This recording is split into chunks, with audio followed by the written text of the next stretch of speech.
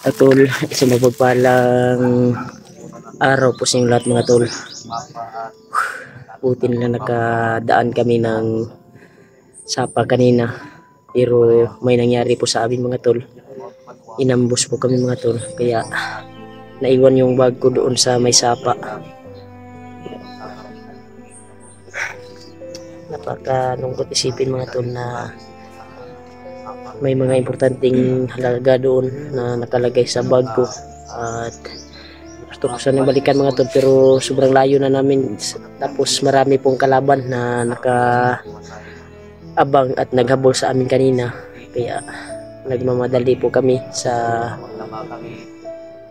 area na makalabas kami na buhay. Kaya dito kami naka napadpad. Sana ma kuha ko yung bag ko. At sana sabi nila Kuya Bad sa talpa na wag wag na daw balikan kasi napakadelikado yung area at madaming kalaban mga tol. Dahil may parang may founder leader sila ba kanina na nag-guide sa kanila ba? Abot iwan ko kung sinong sino yung commander na nagkuhan sa kanila sobrang angas mga tol yung salita.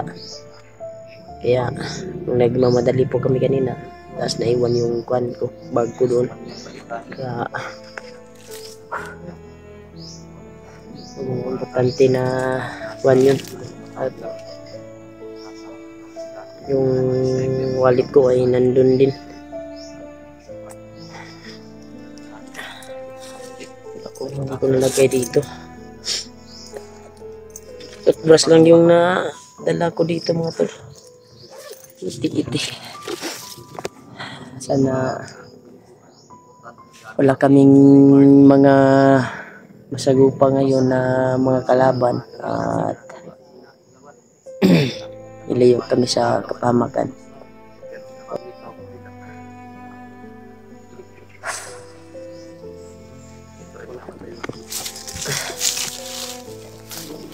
sana mga tol. Tayo mo kami sa kapamakan at mga sa mga tao na ngayon. Dahil sobrang dami po talagang nagapol sa amin kanina. At yung bag ko mga tol ay nag-alala talaga ako. Kasi may mga importanteng bagay doon yung isang agimat ko mga tol ay yung batong limon ay nandoon din. Buti na lang nandito yung binigay ni ng ama ko. Ah puno ng orasyon. Susuot natin ito mga tol para iwas tayo sa pamakan at malakas ang bisa nito sa aking pangangatawan imat na ito. Bigay ito ni papa mga tol. Gamit niya to yung tumi tinira siya mga tol ng mga taong masamang tao doon sa bahay. May nagtangka na patayin siya. At buti nasuot niya itong agimat na ito. At naligtas po yung buhay niya.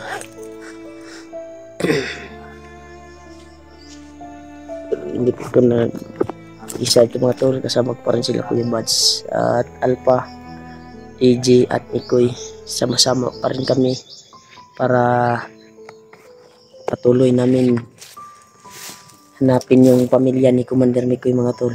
At susundin namin si Maskara dahil alam niya po yung nilagyan ng pamilya ni Kuya Mar- Commander nilagyan ng pamilya ni Commander Mikoy alam ni Maskara boy mga tol. At sana magtagumpay kami at narating po namin yung daanan at kung saan man nilagay. Kung saan man ngayon yung pamilya ni Commander Mikoy sana mapadpad kami doon. Maligtas na namin yun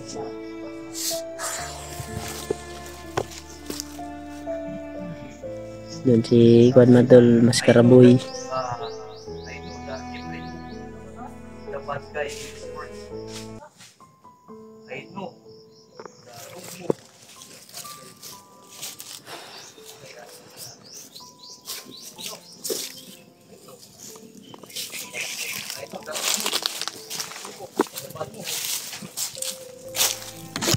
Pwede kami sa paglalakbay nito dito sa area na ito.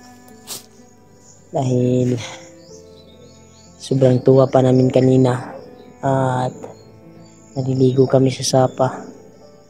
Tapos may biglang dumating mga tol na palaban at bigla po kaming tumakas pinaputokan po kami at naiwan po yung kuwan ko buti na lang nakabihis ako kaagad pagdating nila nakabihis na ako.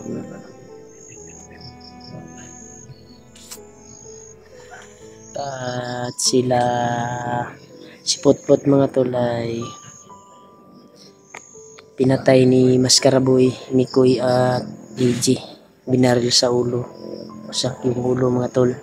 At yun kasi yung katawag niya mga tol nag-accept siya nga na malibang. Makuan ba? Mag kuan og hugaw ba? Libang. Tapos sinundan ni AJ tapos may kinuha siya cellphone. Tapos sinundan namin. Yun. Alam namin na yung katawag niya ay si Bagtek. Kaya Ilang kaya? Uh, makakuro tato niya. Ang isipin mo bro, safety tayo. Ang isipin mo bro, ang, ang gamit. Hmm, ang kuan lang ba importante nga kuan dito ba? Itong batong libon ako ba Yun nga, ba? ah, yun nga sinabi ko pala, yung pinantin niya andun. pero yung binigay ni Papa ay nandito.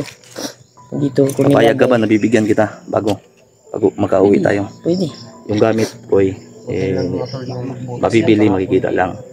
Andun yung pitaka mo, wallet mo, yung, patay na. yung License mo, license nandun din my God. yung kuan ko license ko sa pitaka Kaya pala nagmumukmuk kayo parang ang hirap tanggapin. Mahirap kasi dagan mo Na- dagan mo ikaw makalas pa yung buhay natin doon. lagi Pero sige lang, Babawi natin. Talaga nagproblema na to ano eh. abot-abot pa itong problema bro Sige lang. Pagsubok talaga to para sa kasamaan at para sa pamilya ni. Titiis natin to. Kaya na, Walang araw giginhawa din tayo. yung sinabi ko sa'yo, Kuya Alpha, na malapit na tayo sa pamilya ko. Eh, may pagsubok na naman ang ngayon. Siguro po, Araw-araw. pinapabagal ah, Inaano tayo, sinusubukan tayo ng No, Panginoon. ah, bala- Gaano tayo katibay. nabalaka yung atong kuan ba yung kuwan ba Ah, sige. Na bro. okay buds na bro.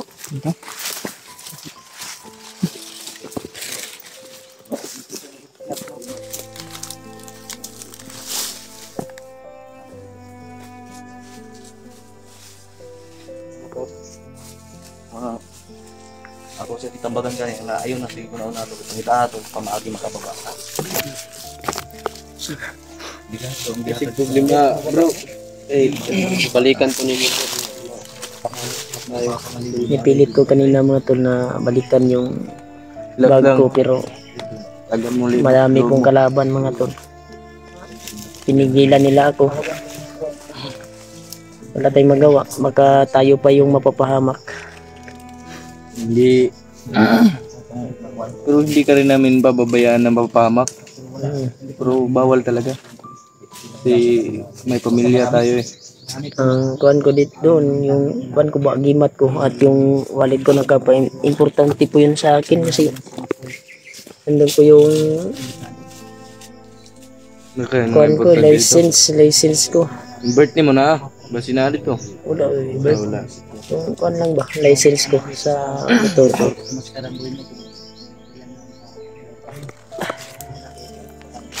Gram, kita rin to. okay Pero sayang po lagi kayo. na sayang kay bay. Pero tag ma kuha ko to balik bay. Kita rin to bro. Kung kina po idili na. Eh, salamat bro.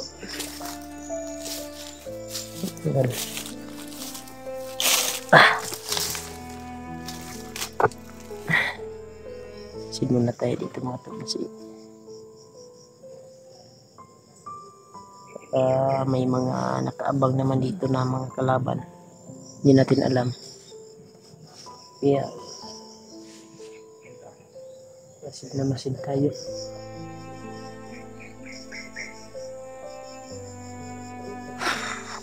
sadla. Nagplano pa sila mga to. Yung labas ba kami o patuloy nang hanapin yung pamilya ni Mikoy. Kasi pagkadami po ng kalaban dito mga to ngayon. Na dumating po yung mga mga trahedya ba nga malas-malas ba napatay. Problema na sa to ang kaibigan na si Renier na eh, nandun pa sa ospital nandun pa yung alaga ko doon. Kumusta na kaya yun? Si Dodong parang kauli-una ko tol ba? Yung pamilya ko sagol-sagol na yung problema ko. Na iwan pa yung bag ko. At may lisensya doon sa wallet ko. Hindi ko nalagay dito sa kanya kasi doon ko nalagay sa bag ko. Sama doon ay nalagay saba lagi. Puti di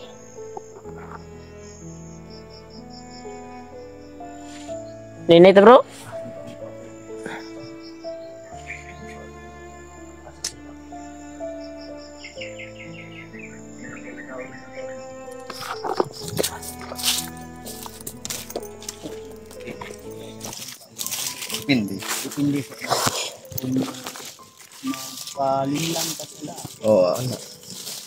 Munang hindi kita kumpiyansa no, lagi na pa sa atong sa atong mga previous video. na nagpalinlang ta nga tauhan ni Likoy. Kung nagpadala gyud ta sa kuan, Wala yun. Wa taman ni ida to. Sos no ako. na tara, hindi ka dito mo tara. Ini maapsan ta ba? Bilang, kuya, Mark. Hmm. Jay. Ay kabila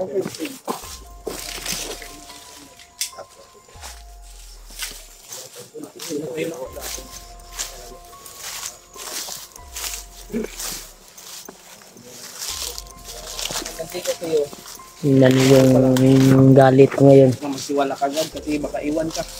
makakita ko ng bandido pakatayin ko kaagad ngayon. Yung, yung wallet ko na iwan ko pa. Ayos pa yun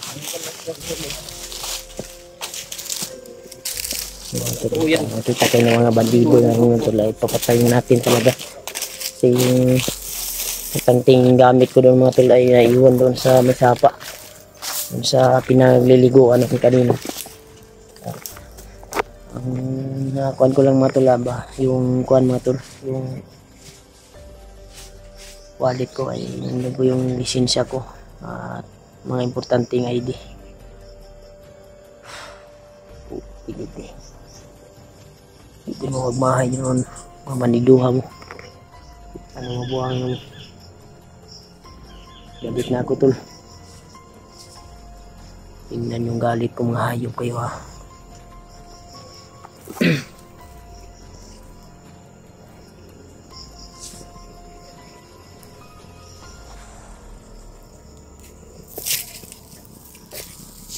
Ah. Saan mas nakibad?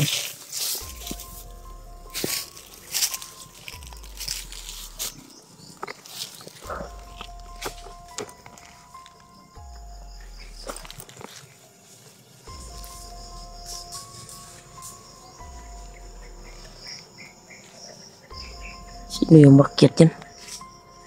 Si Mascarabo yan ah.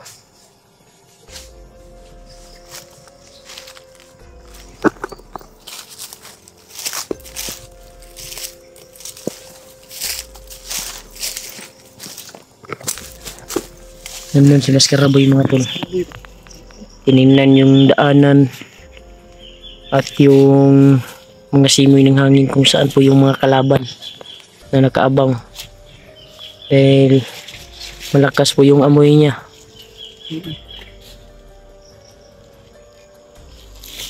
Bago kami lalakad sa daan ay sinisilip niya yung bawat daanan namin kung saan yung walang kalaban, yung ligtas na daan. Kaya nandun, nandun siya sa taas ng kahoy mga tol.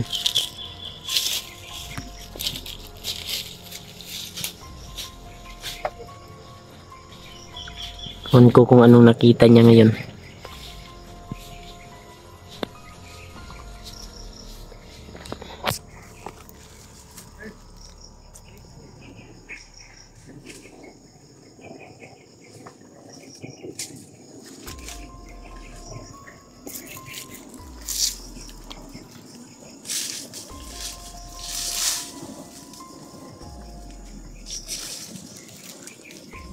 Hmm.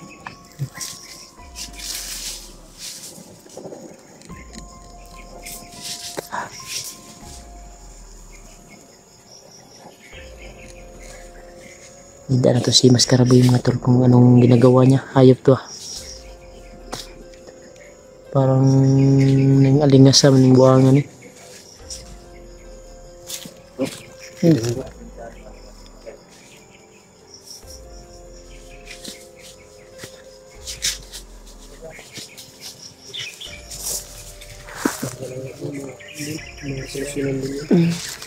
importante kung mga ano dito. Hmm. Kasi kung importante, importante. Say, paminay mo bro.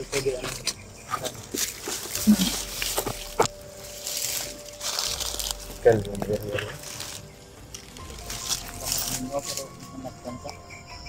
Ganito? Nagbaw ka? Ay. Baho ka lang kung tayo. Naguri naguri patay diri ba? Wa man ako ikilaban no kay Ligo, wala, wala, wala. wala uni yubo na ako pero wala ko laban kay tugay mo uga. Kan, di patay dito. Kan dili tugo no ako ra na lang tugay. Pero minit patay dito. Ilang baho dito. Kaya nagpapagpunan na ba? Wala yung sabunan. Mao maglawi ni Iji. Wala yung sabunan. Di unda lang ba niya Hindi na ito. Di lang po itong laksa mo. Ganito? Ano yun da? Brad, aman ta brad. Ikaw ang sunod brad. ah. Nabran. Hindi pa kayo. Pilit pa mangyadahan ng sila. Kakagulit na tayo dito.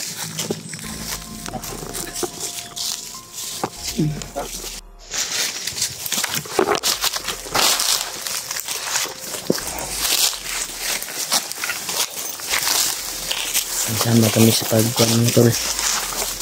Kaya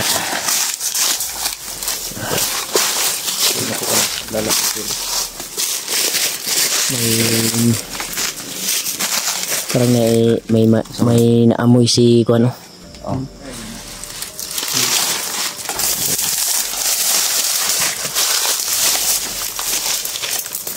Ano na yun? Bagong apak daw. Ay bagong apak daw mga tol. Mga bakas mga tol yung kuhan niya. Huwag dito yung kumpiyansa. May mga bagong Eh, bagong dumaan daw mga tol. Ayun to, napakadelikado mo. Siguro ko lang yung susuka namin.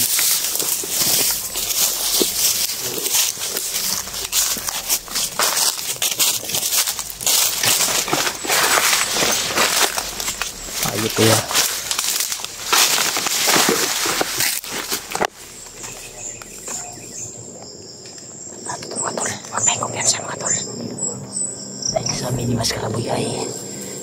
Na sila.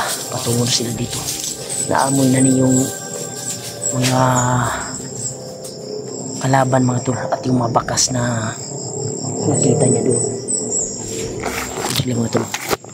Pinagplanuhan po yung daanan kung saan kami dadaan ngayon kasi dami daw kalaban mga tol.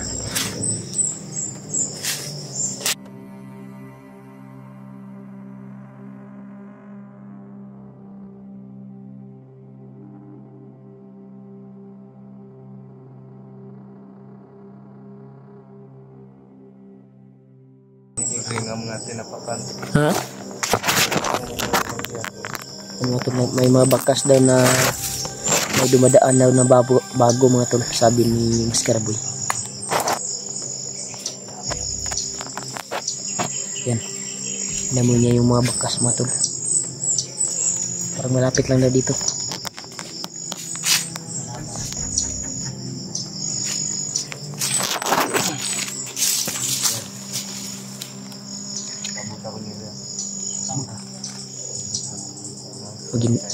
Mag-antay lang daw kami dito mga tol kasi may titingnan daw siya doon sa unahan. I-clear niya yung daanan. I-clear niya yung daanan mga tol. Murag ako ang gimat mga tol. Parang uminit po yata mga tol. Parang dami talagang kalaban dito. Kasi sabi ng ama ko mga tol ay pag may masamang tao na dumating daw ay uminit daw itong one mga tol. Yeah, nagmasid po si Kuan mga tol. Titingnan daw niya sa unahan. Si Maskaraboy. Tingnan daw niya yung daanan na inadaanan namin ngayon.